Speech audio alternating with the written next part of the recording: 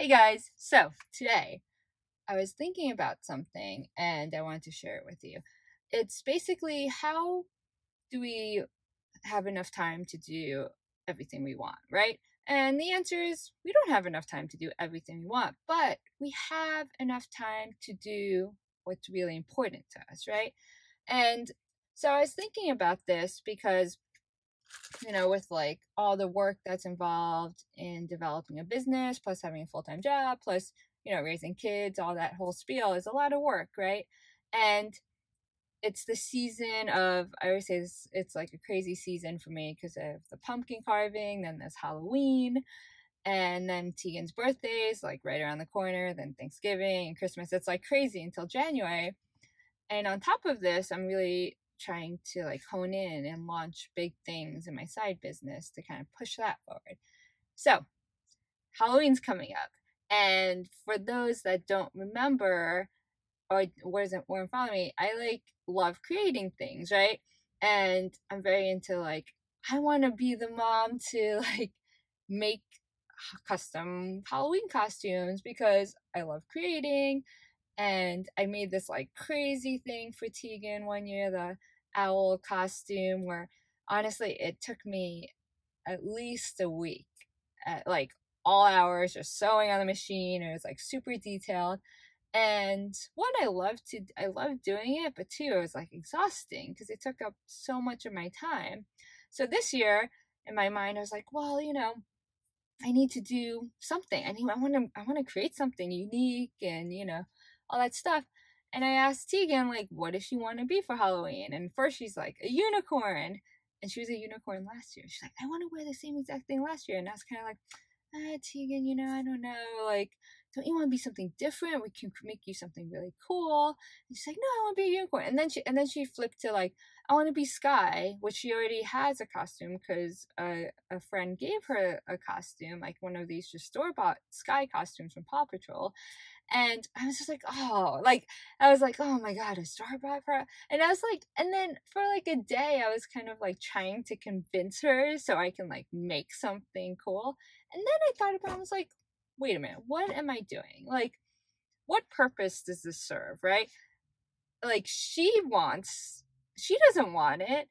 And it's mainly like for me, the need that I feel like I need to create something like original for her, but she doesn't even want it. And then on the flip side, it's also taking, it will take away so much time from things that I need to get done, you know, in my businesses, plus time taken away from spending time with them and added stress. And then the whole thing with it's like Lee too, like you know, Lee's too young to know what he wants. But I was like, but then Lee, I have to do something for Lee.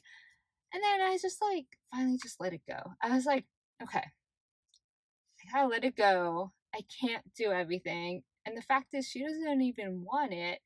And Lee's so young that he's just gonna be like, mm, no, I don't know. So it's about letting go of certain tasks and prioritizing and saying no to things. For me, saying no to making like two custom costumes, do it yourself things. Yes, I would love to do it. I would love to document it. But one, they don't want it.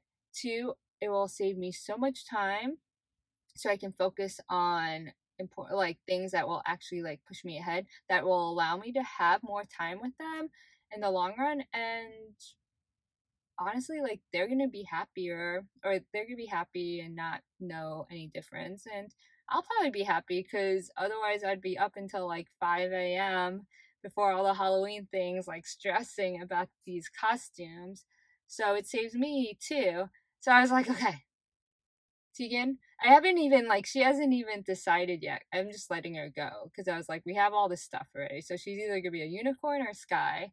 Maybe at the last minute we'll change it.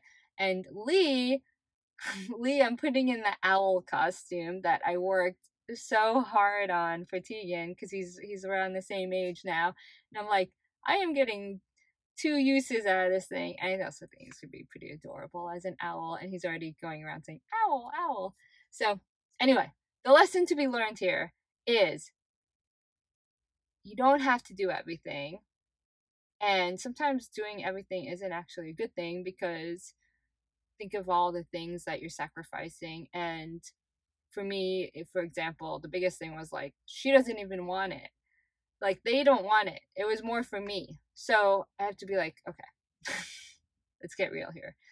And yeah, so maybe think of something in your life that it's like you're essentially just doing it for yourself, but in the greater scheme of things, you actually shouldn't be doing it because it's hurting other aspects of your ultimate like goals of something bigger and better. Ah, that's it. So stay tuned for I don't know, owl. Well, Lee's gonna be owl. Tegan will be whatever she decides to be. It's also giving them the agency to like decide their own thing too. Anyway, all right. Have a great day. I'll talk to you guys later. Bye.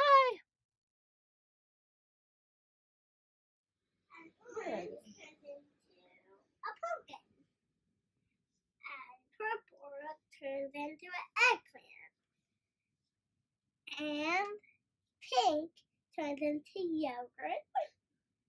And brown turned into a horse. And they all had fun, and brown and black was not a friend because he didn't turn into anything since he doesn't have this on his picture. And he was curious. And he also had white that doesn't have flame. And also it was gray too. But all the